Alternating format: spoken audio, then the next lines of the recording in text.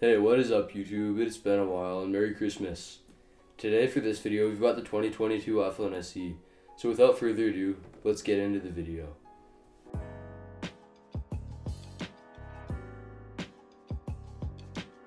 The iPhone SE 3rd generation was announced back in March, alongside the new iPad Air, the M2 MacBook Air, and a whole bunch of other stuff that no one liked. At first glance on the outside, you wouldn't be able to tell it apart from an iPhone 8. They have the same body, the same camera, the same screen, the same glass back. They can even fit into each other's cases. But they're not the same. Let's talk about the camera. The camera on this iPhone has the same external hardware as the iPhone 7 and 8, and even similar to the iPhone 6s. Here we have two images. On the left, the iPhone 7, and on the right, the iPhone SE. As you can see, they look really similar. For all you people out there who actually care about the camera specs, I'll give them to you. Has 7 megapixel selfie camera with f slash 2.2 aperture and f slash 1.8 main camera. I have no idea what that means, but just in case you wanted to know. I'd say overall, this phone packs a pretty good camera. Here are some samples.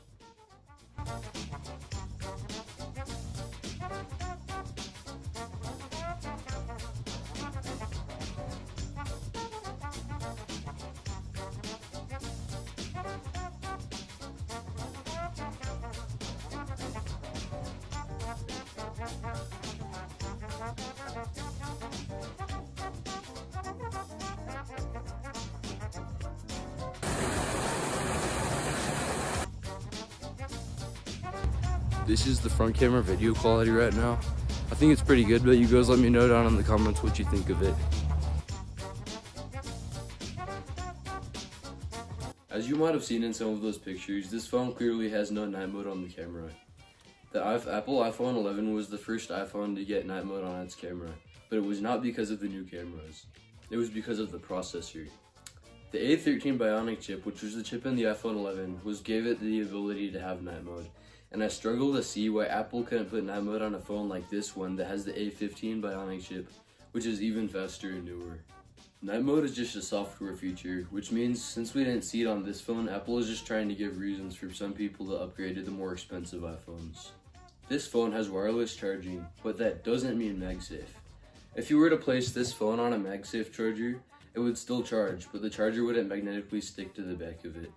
The wireless charging isn't the fastest, so I'd still stick to regular charging. With the wire, it is capable of charging speeds of up to 20 watts, if you can afford one of Apple's expensive charging bricks. I still can't believe what they did to us, but that brings us to battery life. The battery life on this phone isn't bad, and according to Apple, it can last 2 hours longer on video playback compared to the iPhone SE second generation from 2 years ago. Apple doesn't disclose their battery capacities, but according to XDA developers, it has about 2018 milliamp hours. If I charge my phone to 100% battery overnight, I usually get home in the evening with around 40 to 50% battery capacity left. I think that's pretty good. FYI, I'm gone using it from around 5.30 in the morning until 6 at night, but I'm a pretty light user. This is a huge improvement from the iPhone 7 I had a few months ago, which I would charge it overnight, put it on airplane mode and low power mode, and it would usually still be dead by around noon. This could have been because of the 80% battery health, or it could have been Apple trying to make my phone malfunction so that I would be forced to upgrade to a newer one, like I ended up doing as you can see. Next, we'll talk about the performance and processing speed. This phone has the A15 Bionic chip inside, which is the same chip that Apple used in the iPhone 13.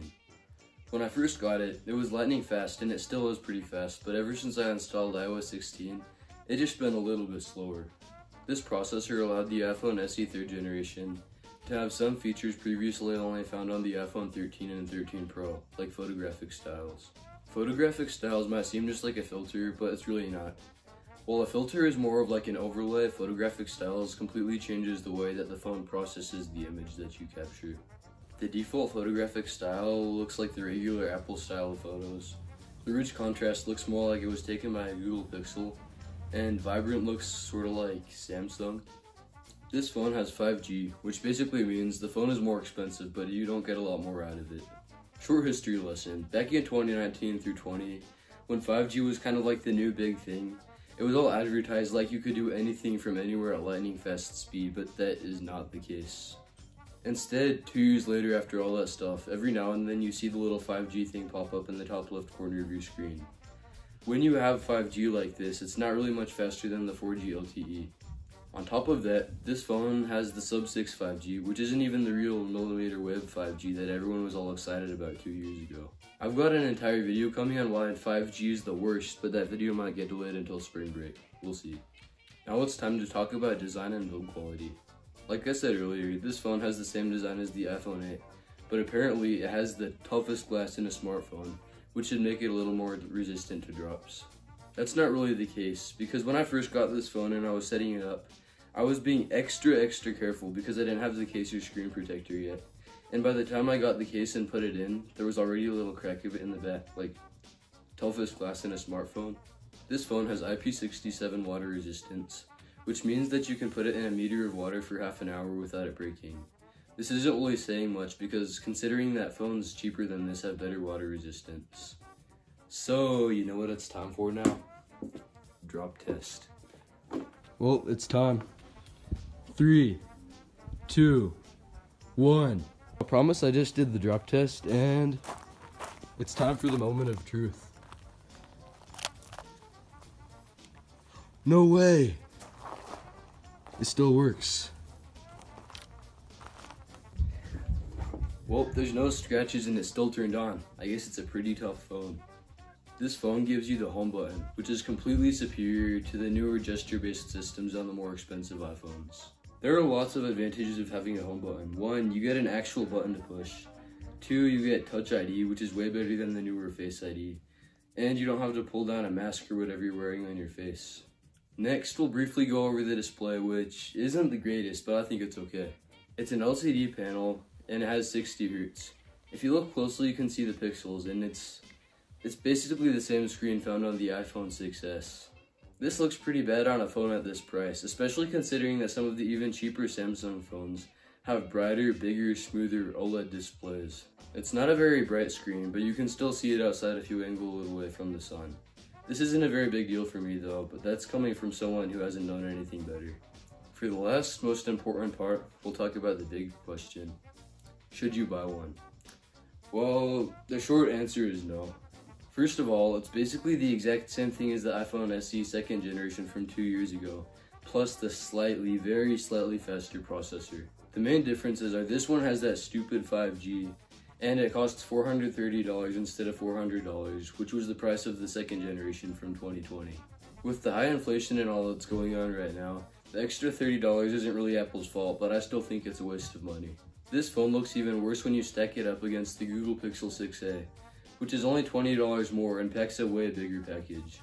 The Google Pixel 6a has the Google Tensor chip, which is why Google's phones are widely regarded as the smartest smartphones. It has a bigger, brighter, OLED display. Its cameras blow the iPhone SE 3rd generation out of the water, and it also just looks cooler. In short, the iPhone SE 3rd generation is just a really bad buy, and it is probably the biggest purchasing mistake of my life. For the speed and performance though, I'll give it a pretty generous 3 out of 10 stars. Hey guys, thanks for making it all the way to the end of this video.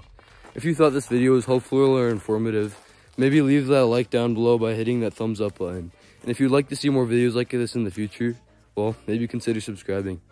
That's all for today, guys. Peace.